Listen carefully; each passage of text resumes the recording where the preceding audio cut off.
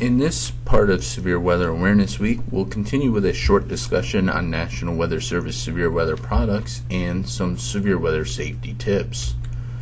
The first product we will look at are severe thunderstorm watches. Severe thunderstorm watches are issued when the potential for severe weather, including large hail and damaging winds, exists within the next 12 hours.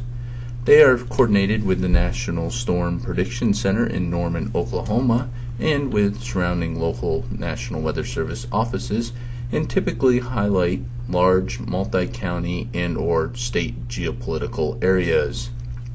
Here is an example of a severe thunderstorm watch that's in effect for northern New York and most of Vermont. Next product we will discuss are severe thunderstorm warnings. Severe thunderstorm warnings are issued by your local National Weather Service office they are typically much smaller in geopolitical areas, often sub-county in size, and this is an example on the right of a small severe thunderstorm warning issued for the 89 corridor in central Vermont. Severe thunderstorm warnings convey the imminent threat of severe weather within the next hour. Here is an example of a severe thunderstorm warning text product and in this example, you can see the severe thunderstorm warning is issued for the northern New York, is valid until 8:15 p.m. Eastern Daylight Time, and is highlighting the potential for damaging winds in excess of 60 miles per hour.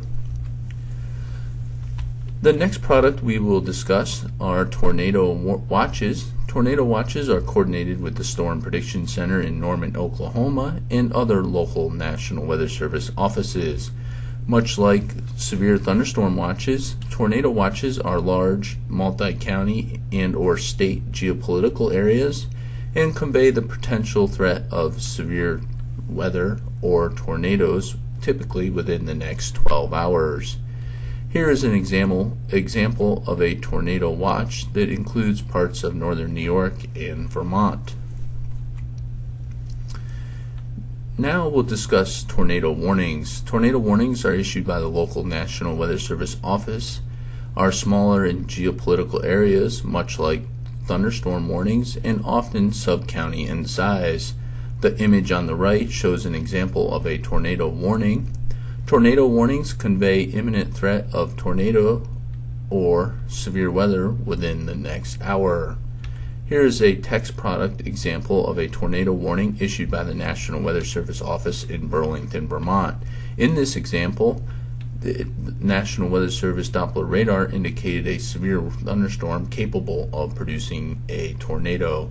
Once again, this is just an example of a text product of a tornado warning issued by the National Weather Service office. Now we'll move along to severe weather safety. When outside during a summer day and a severe thunderstorm approaches, there are a number of tips you can follow to ensure your safety. These include taking shelter in your home or the nearest available structure and avoiding large open areas such as ball fields and golf courses. If boating, seek shelter or harbor as quickly as possible. Also, stay away from tall objects such as trees and power poles. Now we'll discuss some severe weather safety tips when inside. When severe weather approaches and you're inside, retreat to an interior room and stay away from windows. Avoid large rooms such as, such with expansive roofs such as box stores or grocery stores and or gymnasiums.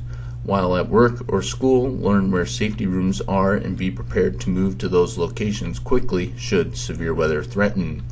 Common safety rooms include restrooms, lunch, break rooms, and interior halls. Once again, thank you for watching this presentation on severe thunderstorm safety and preparedness. For more information, visit our official website at www.weather.gov forward slash BTV. Like us on Facebook and follow us on Twitter at NWS Burlington.